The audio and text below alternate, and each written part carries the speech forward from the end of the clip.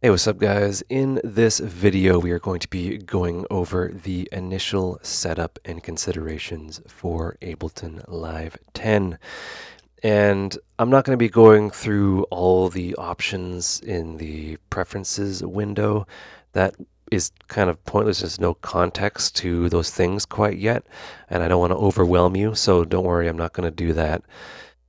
I'm assuming that you have a computer any kind of laptop made within the last five years will run Ableton Live. Um, all you need is a computer and headphones. You may be tempted to go off and buy a bunch of equipment, but it's not going to instantly make you better or instantly help you understand kind of what's going on. Uh, as, yeah, all you need is a pair of headphones and a laptop to get started. So don't don't worry about that too much. You've noticed that I cheated a little bit. Ableton Live is already installed on my computer. Uh, I skipped ahead a little bit, but if you don't have it already, I recommend that you go to their website and you can try a 30 day trial. It's fully functional. You can give it a try. You can watch these videos, you can watch other videos, you can learn, and you're going to have a great time once you get the, the hang of all this. So you can try it for free. And I recommend that after the 30 days, you consider buying an edition. There's three different editions here. There is the intro, standard, and suite. The intro version is limited, quote unquote limited, but it's still pretty functional and fantastic. Um, it's you know, it's not actually that limited. You still have your group tracks, you have your VST support, you have your MIDI, you have multi-track recording, non-destructive audio, you know, all the fun stuff, capture MIDI. So it's it's it's all there, really. The limitation is you can only have 16 tracks, but starting out you're not going to have that many, right? Like, you know, I didn't have any more than 10 when I was starting out. So that, that's a quote unquote limitation, but it allows you to uh, get an edition and support people that do just amazing work. And, you know, it's, it's actually very affordable. This don't go off and buy the suite version right away. Uh, if you don't know what's going on, get the intro version, and uh, you know it's it's very very well priced. I think it's like 120 bucks, which is six pizzas. So, you know, take that into consideration. It's a really great program and it's you have it forever. The system requirements, um, choosing a computer. Any computer in the last, you know, five years will be able to handle this. The the requirements are very good, you know, like it goes all the way back to Windows 7. Um, Windows 10 is recommended, you know, 64-bit. You need 64-bit operating system, but, you know, most likely you do. The processor does matter, and I'm hesitant to get into this, but for Ableton Live and DAWs in general, it's not the core count that matters, it's actually the core frequency. So the single core performance. Uh, and I I can't go over a you know a, a, you know a buying a laptop or computer buying guide because it changes all the time. One of the most important specifications is price. But if you look at the benchmarks of a particular CPU and you look at single core performance, that's what you're looking at. So you know four cores with you know really good um, single core performance, you're good. So like i5 preferably an i7, but i5 is fine. Uh, 8 gigabytes of RAM, that's pretty easy, and all this other stuff you don't necessarily need to worry about. And that's for PC. For Mac, now this is very important. Uh, the the maximum um, OS that your Mac can go up to um, dictates if, whether or not you can run uh, Live 10. On our 2009 MacBook Pro, it's barely you're barely able to run Ableton Live 10 on there because the the operating system can't go any higher. So that's kind of a one of the one of the many downfalls of Macs. If you already have a Mac, that's fine, but uh, you know, just keep that in consideration. And a consideration in a downfall with Mac uh, computers is often updates. I think it's Catalina or something like that that's about to come out. Is it's everyone, all the developers of you know digital music production are saying do not update because it's going to break everything, and uh, you'll never know. It might not be. Uh, you, you, you, things will break and it's a pain and you have to get updates and stuff like that. So that's one of those things. Um, an update on windows never really broke anything for me. Uh, well an update in windows 10 never did. So uh, keep that in uh, keep that in mind. So there's that. So when you download ableton live and install it and open it for the first time you're going to see a demo song. And that's not really helpful for what's going on here. So I want you to go up to the top and then just hit File, New Live Set, right? Even if you don't see the demo song, just go New Live Set. And what is a set? A project file is a set. So Ableton Live files are called sets. They are folders that have everything in them, right? Because Ableton Live was initially designed for live performance and stuff like that. So, you know, you have your live set, DJ set, that's what they're called, sets. So there's that. So we need to, you know, confirm that we see this open here. First thing we want to do is confirm that we have sound. So we're going to go into the options drop down here and then go all the way to the bottom to preferences. Preferences is very important. It's a crazy confusing window. I'm going to open it. Don't be scared. So this is the preferences window. On the left are all of these tabs. So everything is organized in tabs. You can click around and stuff like that. I encourage you to do that. We're going to want to settle on audio, right? This is the audio options tab or audio preferences. This is everything to do with audio here.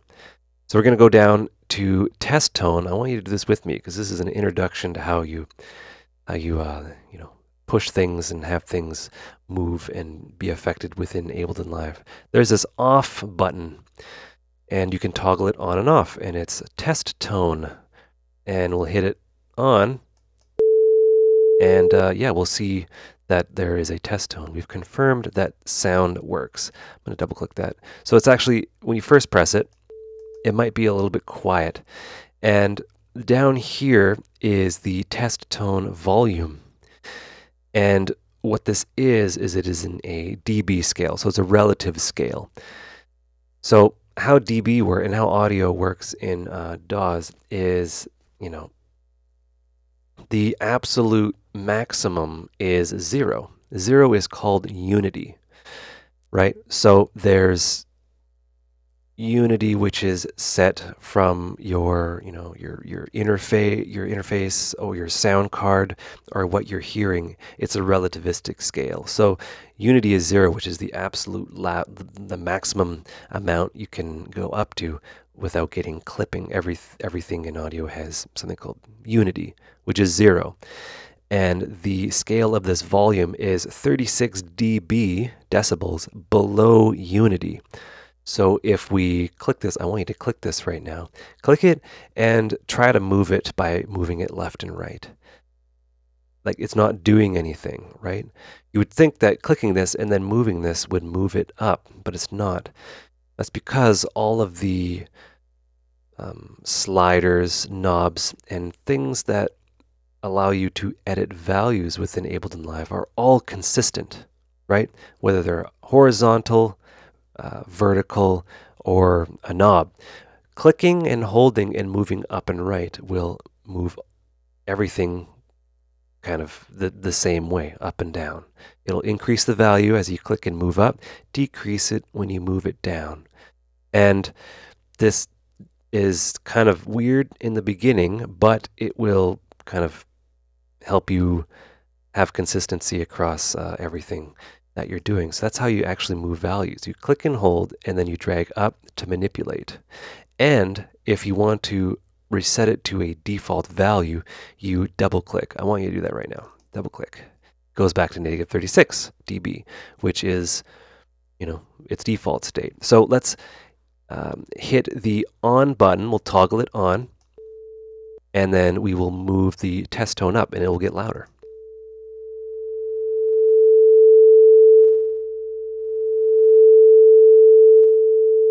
Pretty neat. And that confirms that we have sound and we are manipulating a value within Ableton Live. So it's always up and down. So it'll it'll just become muscle memory once you start doing that. So that's our test tone. That means that Ableton Live is able to communicate to our sound card. And how it communicates is via a driver.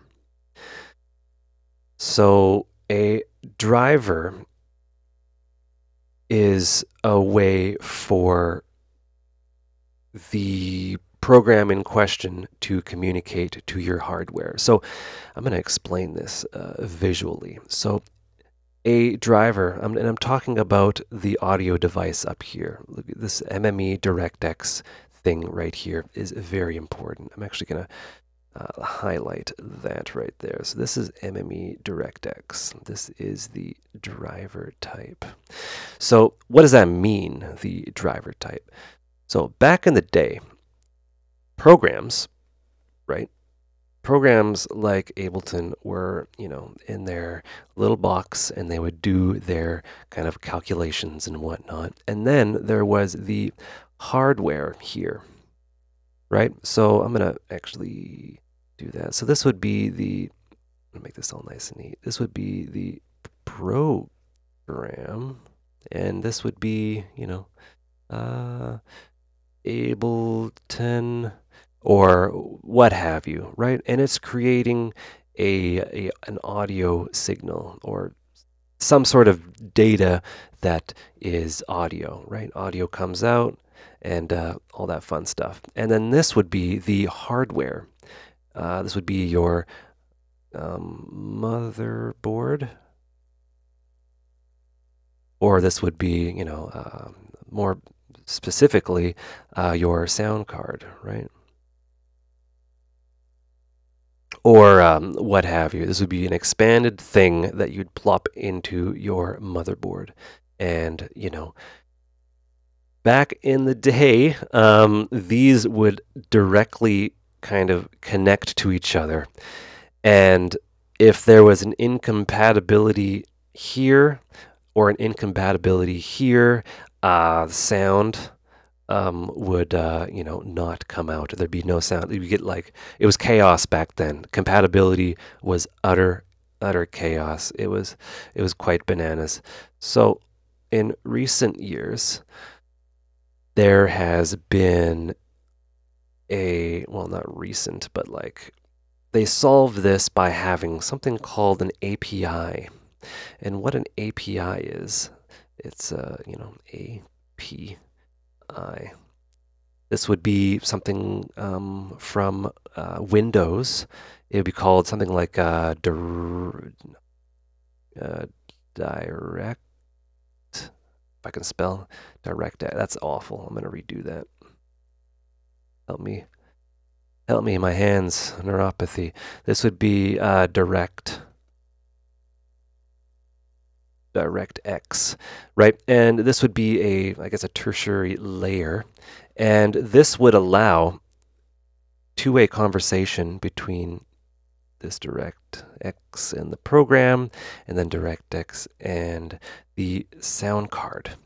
And this would interpret and kind of be a middle person. And it worked super well because the program would only have to worry about talking to this. And this is a standard. This is, you know, for the most part, well documented, well understood, and it works. It works for you know your games it works for your audio and all that fun stuff right the mme directx driver works and that's what ableton out of the box communicates with and then you know the the sound card you know reads information from that and things just work 95% of the time, it's amazing. It works. But, and this is getting more into the advanced stuff, but it's worth kind of explaining. This is a layer that interprets. So, you know, the, the program, you know, spits out stuff and, you know, it has to communicate to that, and then this has to translate, and then the protocol from this reads it from this. So it, it causes a bit of a delay, and that doesn't work for real-time audio if you wanted to like record and track and have you know better performance and stuff like that because these these things are sent in like blocks and packages right and they send them kind of sequentially right uh, in like blocks of data. And, uh, you know, this does it too, right? Sends it there, sends it there, and then, you know, another block will be sent here. And that's how it communicates, right? And these uh, blocks are buffers. And the buffer size indicates, you know, how fast things, because some things might not be able to keep up. If there's, if Ableton is sending like a bunch of blocks holy crap and the api is like what the what the heck's going on here? And then you know it can't keep up you'll get a drop. It'll just say okay we're going to start again and it'll kind of reset. Cancel those blocks we couldn't do let's just start again and then you'll get something called a dropout.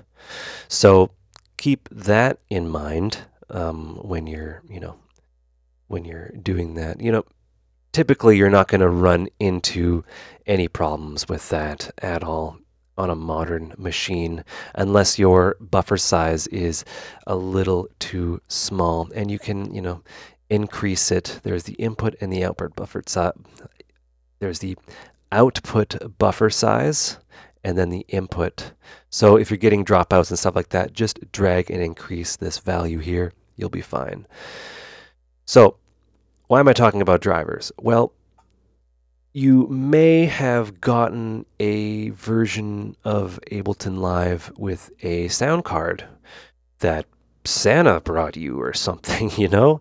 And you may have that sound card installed. I have one next, it's a big one next to me. Uh, you probably have like a, a Focusrite uh, Scarlett or something like that. And that's a completely different thing. So this would be um, you know, this right here and then this right here. So this will be, um, you know, a, yeah, this will be Ableton. This will be the program. And then this will be your uh, sound card, or we call them interfaces, um, uh, or sound cards, um, or what have you. And an interface will have, uh, let's say, it'll have audio out, you know, audio in, and then MIDI.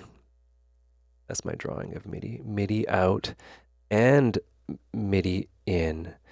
And MIDI we're going to get into, that's an awful representation of MIDI. But MIDI is, you know, data in and out. And that's um, something that your motherboard or laptop does not have built into it, right? So that is something that's built into a lot of interfaces or sound cards that you get at, you know, um, Guitar Center or whatever the heck you do. So in this case, you do not use the um, the tertiary layer of the Windows API. You use something called DirectX. No, not DirectX. You use something called ASIO. And if I actually click on that ASIO right now, my computer is going to, uh, uh, my recording might get all wacky. I'm going to do it anyway because YOLO. I'm going to click on ASIO. Boom.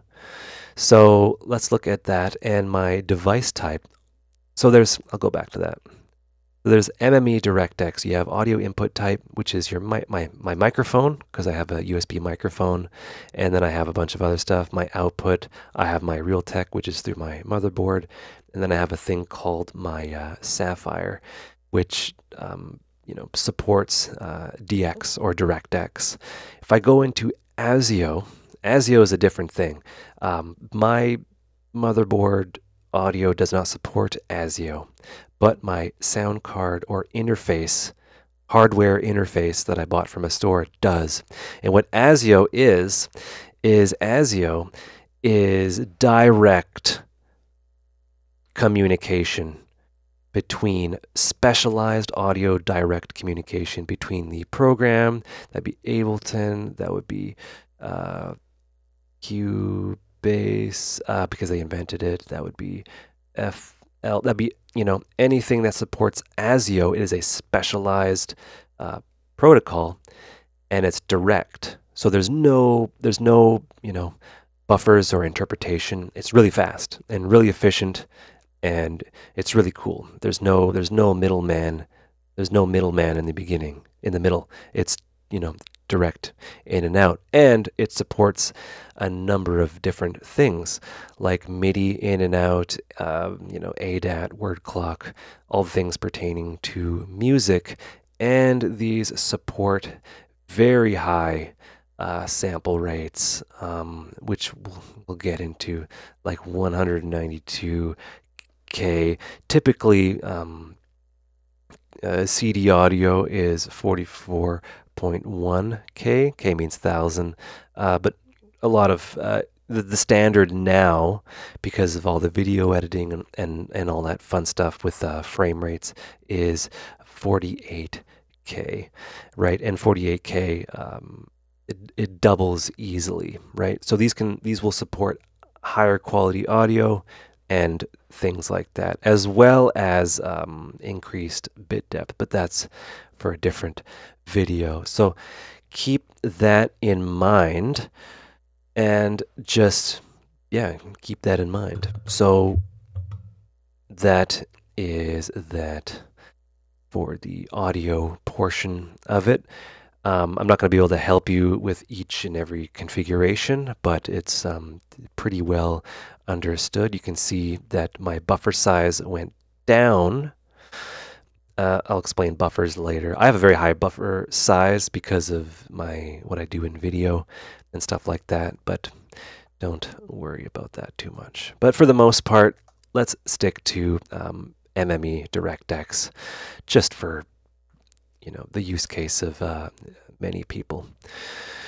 So let's look at some important things. So I've I've been doing these videos for a while, and I've talked to many producers from many different walks of life. And accessibility is a is an important thing in my opinion. I think that electronic music production should be enjoyed by everyone. Um, and you know, it doesn't matter how uh, abled you are you should be able to enjoy it. And there's a couple things that I want to briefly go over. If you go into look and feel, for people who are, I know someone who's legally blind and they produce and they really enjoy Ableton Live and they use uh, a VST called Serum be now because it scales really big. They can actually zoom the display in order to see better, right? So, you know, if you have like 2200 vision, you, will be able to you'll be able to figure it out, and it's uh, you know really positive that you can do that. So you can take that, slide it up, slide it down, depending on your resolution. It supports uh, DPI mode and all that fun stuff. Um, it's really great, and for people with light sensitivity, which uh, is something new for me because you know sometimes I'm kind of sensitive to light. People are sensitive to blue light. You can actually change the theme and the brightness uh, to something a little bit more appropriate for your eyes. Um, you can increase the brightness, which I don't really want to do. If you're if you're into that or you're operating in a, in a highlight uh, environment, we can you know use the light theme if you want to blind yourself. But uh, yeah, we can go to uh, mid dark or dark if you want to, you know, really get in the mood for music production. All these are valid. I stick with the with the default just because it's you know familiar and all of that. We can actually change the color temperature. Some people are sensitive to a blue light. We can uh, change it and uh, get rid of a lot of the blues for the most part. I'm not sure what, what setting it is. Um, but there's also programs called uh, Flux, and Windows 10 has a built in uh, blue light setting that works quite well. So that's for accessibility and the initial setup of Ableton Live. I told you I would be thorough and all that fun stuff. So I hope this is uh, working out for you. Next up, we're going to be going over the basic UI and we're going to be making some stuff. It's going to be really fun. So I hope you stick around. I hope you enjoyed that video. I hope you learned stuff. Take care and have a good one.